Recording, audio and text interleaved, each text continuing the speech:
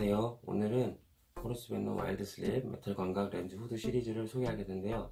후드라는 게 좀 길게 말씀드리면 좀 설명이 되게 길어지니까 간단하게 말씀을 드리면 햇빛에 반사되는 걸 좀 막아주시고요. 잡광을 차단해 준- 준다는 의미도 있고 플레어, 즉 촬영 화면에 생기는 뿌옇거나 번쩍이는 빛을 막아준다는 의미기도 합니다. 그래서 이렇게 많이, 후드를 많이 사용하시는데 그리고 한 가지 더 있다면 멋있죠. 카메라에 일반 그냥 바디만 들고 다니는 것보다 후드 하나 끼우고 다니시면 되게 멋스러워요.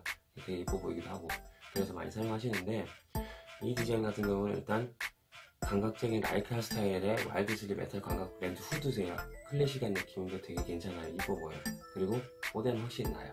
그리고 일반 렌즈 또는 광각 렌즈 장착할 때는 일반 후드를 사용하시면 vignetting이라고 해서 사진 촬영하실 때 후드 있는 부분 양쪽 사이드에 검은게 그림자가 지는데 이 후드 같은 경우는 그런 게 없어요.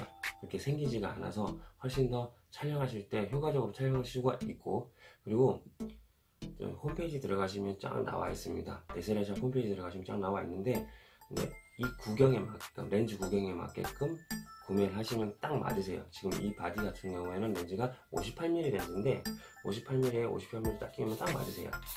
이렇게 딱 맞아서 사용하실 수가 있고 그리고 렌즈 킵이나 아니면 필터를 앞에다 바로 또 끼워서 장착을, 장착을 하셔서 사용하실 수가 있기 때문에 빼고 끼고 할 필요가 없으세요. 그래서 훨씬 더 사용하기가 편해요. 되게 좋아. 그게, 그게, 그런 게 실용적이고 좋은 거고 유용한 거죠. 편하게 쓸 수가 있는 거니까. 일단은 홈페이지 보시면은 사이즈별로 작은 것부터 큰 것까지 쫙 나와 있으니까 거기서 확인하시고 구매를 하시면 될 것 같고요.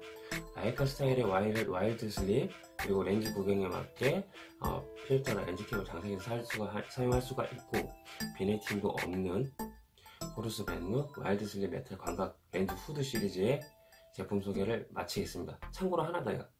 하나 더. 컬러를 빼먹었어요. 컬러는 블랙이랑 실버 두 가지 나옵니다. 이상으로 마치겠습니다. 감사합니다.